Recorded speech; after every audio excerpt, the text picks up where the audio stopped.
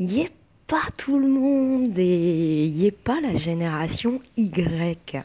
Aujourd'hui, je vous invite et je vous accompagne à me suivre dans un thème parce que j'ai voulu euh, traiter en fait du, d'un sujet autour de la vie euh, des générations Y actuellement, qu'est-ce qu'elles subissent euh, ces générations Y, euh, voilà, qui sont formées, diplômées, voire même surqualifiées, et qui actuellement peuvent potentiellement vivre le risque de subir le fait de ne pas avoir de travail, de ne pas avoir créé de famille?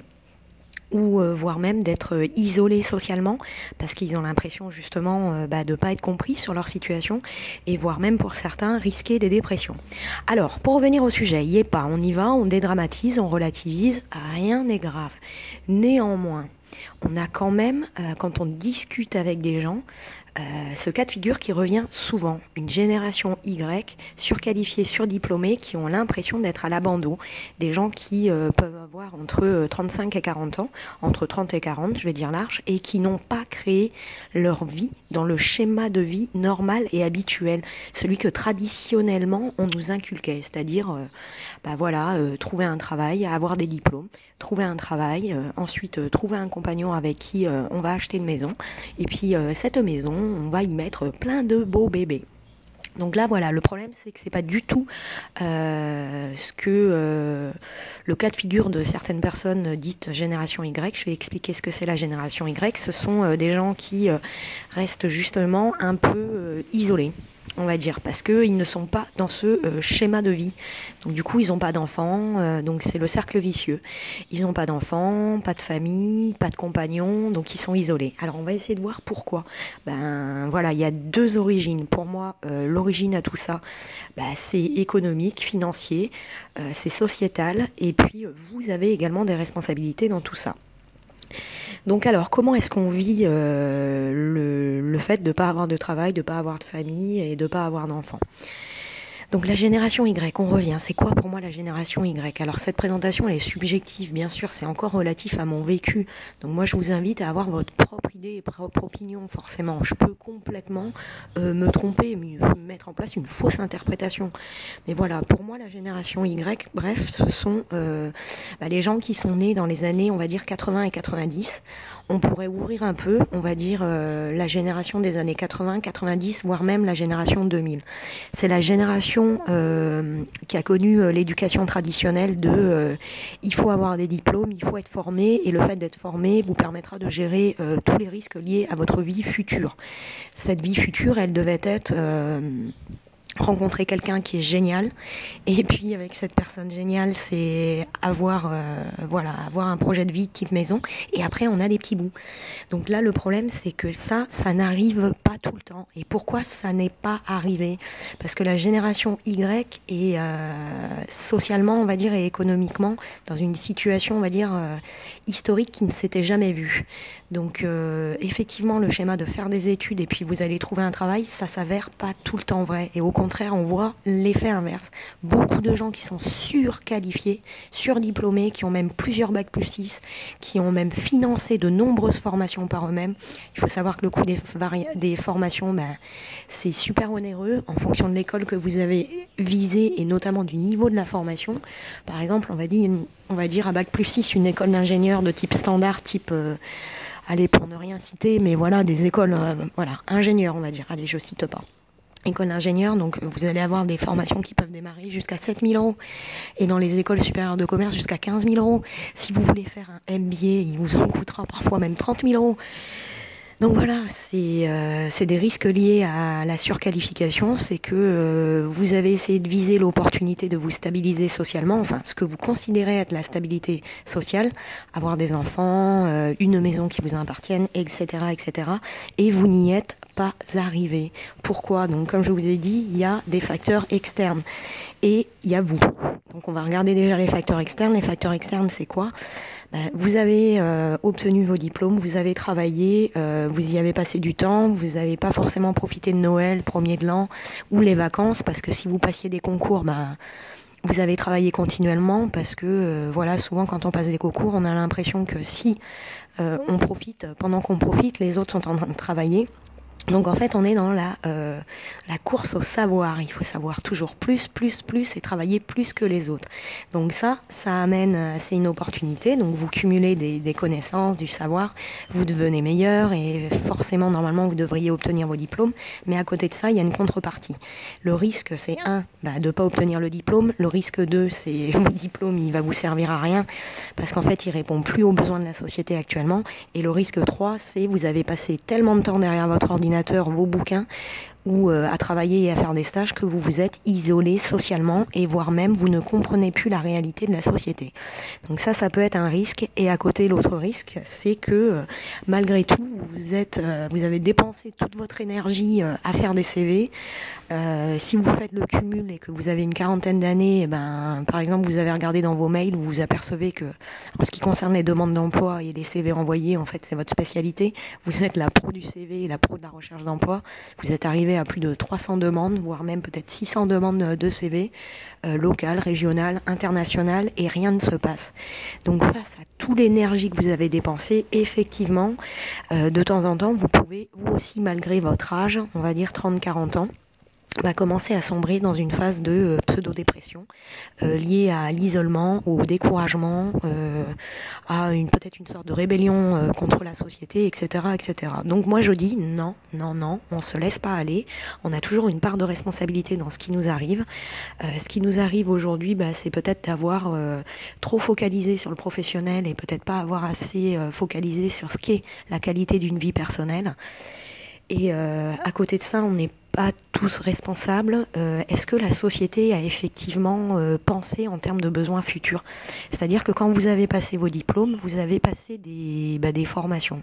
Est-ce que le programme, à l'instant où vous l'avez passé, il était vraiment adapté aux besoins futurs? Est-ce qu'il n'y a pas un décalage? Comment est-ce qu'on peut prédire le futur et qui est responsable de ne pas avoir prédit le futur? Est-ce qu'on pouvait le, le, le, savoir?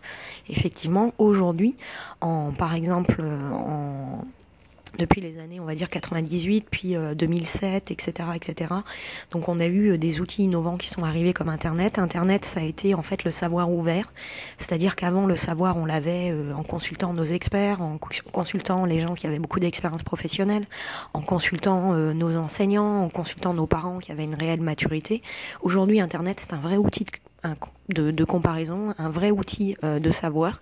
Et en fait, on s'est rendu compte que cet outil, il a permis en fait de remonter le niveau d'intelligence de la société. Et le problème, c'est que ça a relevé tout, tout, tous les niveaux. Et à côté de ça, ça a relevé tous les niveaux, mais ça a été le même cas de figure pour tout le monde. Donc tout le monde est devenu un peu plus intelligent. Et à côté de ça, tous les programmes d'enseignement qu'on n'avait plus avalés, en fait, bah, ça répond pas aux besoins de la réalité future en fait, ce pourquoi vous avez été formé, eh ben, c'est en décalage avec la réalité des besoins. Donc euh, voilà, ça euh, c'est une vraie problématique. Donc soit vous faites preuve d'une réelle capacité d'adaptation et une flexibilité, et au contraire vous prenez euh, ce qui pourrait être qualifié de risque en opportunité. C'est-à-dire que même si vous êtes surqualifié et surdiplômé, cette surqualification vous a donné l'aptitude de faire quelque chose. C'est une aptitude à l'analyse et c'est une aptitude à vous une aptitude à vous adapter dans toute la situation. Donc utilisez cet outil, vos diplômes ne vous ont pas servi à rien et vous êtes capable de faire preuve de flexibilité. Et parfois le fait d'accepter un travail euh, qui est peut-être, euh, enfin, je vais dire, un travail qui a moins de responsabilité, ben, peut-être que ça pourrait aussi vous simplifier euh, la chose et c'est pas parce que vous êtes à mon sens diplômé qu'il faut viser euh, les emplois de très haute qualification. Est-ce que ça a vraiment un sens de toujours se battre pour gagner euh, très très très confortablement sa vie? Quel est votre rapport également à l'argent? Ça pourrait expliquer aussi l'état de, de burn-out.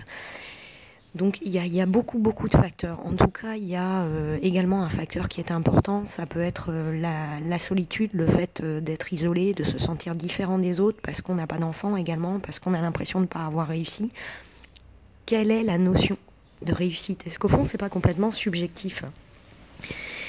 Et aujourd'hui, moi, je pense qu'il faut, euh, si vous êtes une génération Y dans ce cas de figure, vous êtes surdiplômé, euh, vous êtes enfermé chez vous, vous créez pas de valeur ajoutée pour la société, vous avez l'impression de servir à rien, eh ben, prenez-vous en main, mettez-vous un bon coup de pied au cul, déjà allez faire du sport. Et euh, persuadez-vous que cette vie elle est belle. Ne restez pas dans un état de dépression si vous y êtes. Si vous avez l'impression que jamais vous pourrez avoir d'enfant parce que vous êtes incapable de lui amener le confort matériel euh, minimum, revoyez la donne. Est-ce qu'un enfant a vraiment besoin de confort matériel? Est-ce que lui donner de l'amour n'est pas le seul équilibre indispensable pour lui plus tard, etc., etc. Revoyez peut-être vos jugements. Et puis oser quelque chose, c'est que si vous êtes surqualifié, surdiplômé, n'allez pas croire que vous servez à rien. La société est en train de changer. On est dans une phase de numérisation, de digitalisation. Et toutes vos connaissances, en fait, elles peuvent servir à d'autres. Donc, essayez de réfléchir à comment créer de la valeur ajoutée en fonction de ces qualifications que vous avez. Aujourd'hui, on a l'outil Internet et en plus de ça, on a une autre catégorie socio-professionnelle qui est en train de se mettre en place. Moi, j'appellerais ça l'entrepreneuriat et voire même le e-business, la faculté de travailler d'où on veut avec un ordinateur. Voilà. Peut-être que comparé à des activités salariées, vous allez peut-être y gagner beaucoup moins d'argent, mais vous aurez une récompense à tout ça. Bah, c'est que vous allez vous sentir mieux, vous mettrez en place votre propre organisation, vous allez gérer vos, journées, vous allez faire en sorte socialement de ne pas être isolé parce que vous allez construire votre réseau.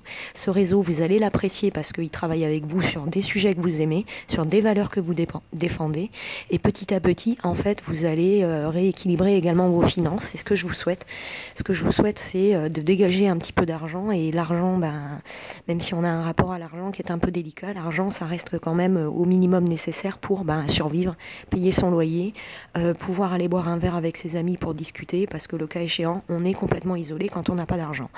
Donc voilà, si vous êtes dans cette phase et que vous avez l'impression d'être une génération Y et de ne servir à rien, on est tous passés par là, moi j'en suis la première convaincue, mais j'essaie de me faire violence à moi-même et de me dire non, non toi aussi, tu as des choses à apporter aux gens. Et euh, même si tu as l'impression de ne servir à rien actuellement, mais peut-être que c'est faux. Voilà, mais en tout cas, il faut dépenser de l'énergie et il faut se donner la peine, effectivement, de créer euh, potentiellement une autre valeur ajoutée autour de l'entrepreneuriat. Et puis, si ça marche pas, l'entrepreneuriat, ben, mettez-le en place déjà de façon intelligente en activité complémentaire. Et si vraiment il s'avère que vous avez des qualités sur ce domaine et que, euh, effectivement, c'est la communauté qui le révèle parce que elle vous met des pouces, parce qu'elle dit que c'est bon, parce qu'elle vous dit que vous servez à quelque chose, eh ben, elle, elle vous confirme euh, voilà l'intérêt que vous avez à créer une valeur ajoutée, je sais pas moi, autour de la création d'une chaîne YouTube, autour du, blogging, autour d'affiliation, autour du sponsoring, autour du portage salarial, autour de plein de choses. Donc, vous pouvez avoir des intérêts à entreprendre tout simplement pour euh, sortir de cette situation vous avez l'impression que vous servez à rien. Et ça, ça va avoir beaucoup d'opportunités. C'est déjà d'une, vous sentir mieux dans votre peau. Deux, essayer de rétablir un équilibre social. Et trois, essayer de rétablir un bien-être en vous et vous permettre de voir la possibilité, peut-être vous aussi, d'avoir droit d'avoir un enfant. C'est pas parce que euh, vous êtes surdiplômé, surqualifié et que, euh, voilà, financièrement c'est délicat de trouver un travail que vous n'avez pas droit d'avoir d'enfant. Aujourd'hui, il y a peut-être des gens, euh, beaucoup de gens comme moi. Moi, personnellement, je préfère me priver d'avoir un enfant parce que c'est comme ça, c'est trop fort, c'est beaucoup plus fort que moi. Je n'arrive pas. J'ai ces fonctions de notre vécu, c'est fonction de plein de choses, mais j'ai tellement peur que mon enfant ne soit pas bien que je préfère, moi, être pas bien et me refuser le fait d'avoir un enfant. Et ça, c'est pas bien. Moi, je suis pas parfaite et il faut aussi que je me corrige là-dessus. Et il faut aussi que j'arrive à me mettre dans la tête que moi aussi, je pourrais potentiellement avoir le droit de jouir euh, du sourire d'un enfant tous les matins en me levant. Mais pour l'instant, je ne suis pas encore dans cette dynamique quel levier je vais mettre en place pour me permettre de le faire bah, Peut-être l'entrepreneuriat, parce qu'une fois que j'aurai monté un projet entrepreneurial, peut-être que je prendrai confiance en moi en me disant effectivement je sers à quelque chose dans la société et effectivement je servirai à quelque chose dans le rôle de maman.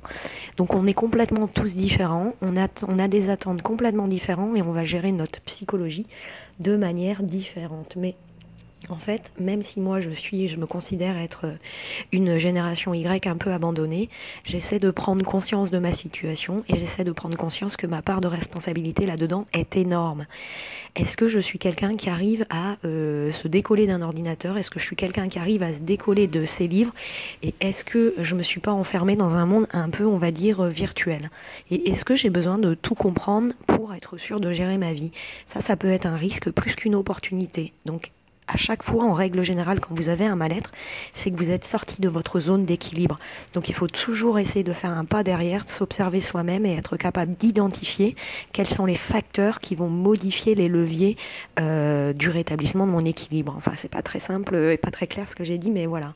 Vous seul vous connaissez et vous seul euh, êtes capable de savoir où sont les leviers. Voilà. Et puis si vous êtes une génération euh, Y et vous avez l'impression euh, de très mal vivre, euh, bah voilà la surqualification, le fait de pas avoir de travail et pas de famille, bah, j'ai envie de vous dire qu'il faut voir les opportunités de tout ça. si aujourd'hui vous n'avez pas de famille et pas de travail, ben il faut voir l'opportunité de quoi, ben de peut-être avoir la possibilité d'exprimer son côté créatif. C'est si vous n'avez rien et pas de solution en tant que salarié, il va falloir utiliser sa tête, il va falloir utiliser son imaginaire, il va falloir se mettre à la place des autres pour essayer de se demander qu'est-ce que je pourrais entreprendre qui serve à tout le monde, qui me serve à moi et qui me permettent de sortir de cette situation. Donc ça, c'est une opportunité. Et par exemple, si vous aviez été euh, diplômé, que vous aviez trouvé un très bon boulot salarié, que vous le gardez depuis 10 ans, c'est ce que je vous souhaite, mais même si c'est très dur, vous le gardez depuis 10 ans, vous avez une famille, un mari, et eh ben peut-être que vous ne seriez pas posé les questions que vous vous posez actuellement et peut-être que vous auriez subi une autre situation, celle du burn-out euh, des salariés euh, hyper sollicités. Et puis, ben, vous n'auriez pas eu la possibilité de vous poser la question de savoir est-ce que j'entreprends, est-ce que j'exprime mon côté créatif et comment je deviens heureux. Donc euh, voilà, ce que je veux vous dire, c'est que euh, voilà, ne vous laissez pas aller, ne perdez pas confiance en vous. Et moi, j'irai euh, y est pas vraiment. Il y a de la place pour tout le monde. Si vous êtes dans cette configuration, dédramatisez, acceptez. Les portes de sortie, elles sont multiples. En fait, vous avez soit plusieurs portes de sortie, soit vous avez une porte de sortie que vous voulez prendre. Moi, je vous donne l'exemple de l'entrepreneuriat, mais ça peut être complètement différent. Vous pouvez accepter tout simplement, vous êtes mal et connaissant vos valeurs, vous pouvez tout simplement vous dire, je vais faire du volontariat international, j'en ai besoin, il faut que je fasse une pause dans ma vie. Donc on est complètement, complètement différent de ce côté-là. Donc c'est à vous de vous identifier et d'identifier en fait la porte de sortie qui va vous permettre de vous sortir mieux, quelle porte je prends et quelle va être la longueur du chemin que je vais utiliser pour aller à cette porte? Est-ce que psychologiquement, en fonction de la porte et la difficulté d'ouverture de la porte que je vais choisir, est-ce que je tape une fois ou est-ce que je tape dix fois? Si pour arriver à mes objectifs, je vais devoir taper dix fois, ça veut dire que psychologiquement, vous allez vous préparer au fait d'être résistant. Donc ça aussi, est-ce que vous choisissez la facilité, est-ce que vous choisissez la difficulté, etc., etc. C'est fonction de votre psychologie. Donc voilà, moi j'ai envie de dire la génération Y, n'abandonnez pas. Tout ce que vous avez fait, eh ben, ça servira à quelque chose, ça sert à quelque chose. Il faut juste vous en convaincre et essayer de trouver vous-même comment vous allez pouvoir retransposer tout ce que vous connaissez et comment vous faites en sorte de vous sentir mieux. Voilà. Est-ce que vous restez dans votre situation actuellement ou est-ce que vous avez besoin de euh, construire peut-être un équilibre familial parce que c'est la priorité, vous vous sentez seul, vous vous sentez isolé et vous ne supportez plus de rester comme ça. Donc voilà, identifiez vos problématiques et moi je vous dis, y est pas les générations Y, y est pas oser le bonheur. Le bonheur, ouvrez votre porte, il est derrière. Je vous assure, allez le chercher. Mettez-vous un coup de pied aux fesses. Moi j'essaie de me le faire et je refuse de me sentir malheureuse ou délaissée ou autre. Parce que je sais que mon cerveau est un petit malin et je sais que ce grand malin, en fait, il interprète parfois euh, de manière euh, erronée ce que je suis en train de subir. Voilà, parce que ce petit cerveau, il recherche la facilité. Et se complaire dans sa situation est à mon sens de la facilité. Si on est dans une situation et que notre situation ne nous plaît pas, au fond, on est responsable. C'est nous qui avons laissé les successions d'événements faire en sorte qu'on arrive à cette situation. Donc soit on rétablit l'équilibre et on repense notre équilibre, mais dans tous les cas, on se prend en main et on ne se complaît pas dans sa situation. Je vous dis, pas bon courage, y est pas aimez-vous, y est pas soyez relativement fiers de vous, mais tout simple, enfin, tout en restant humble. Voilà, retravaillez votre ego personnel également. Enfin, essayez de trouver les leviers qui ne vont pas chez vous et que vous pourriez actionner pour vous sentir mieux, tout simplement. Je vous dis, pas bonne chance, le meilleur pour vous et je vous kiffe et vous embrasse très fort. Allez, bisous, à bientôt.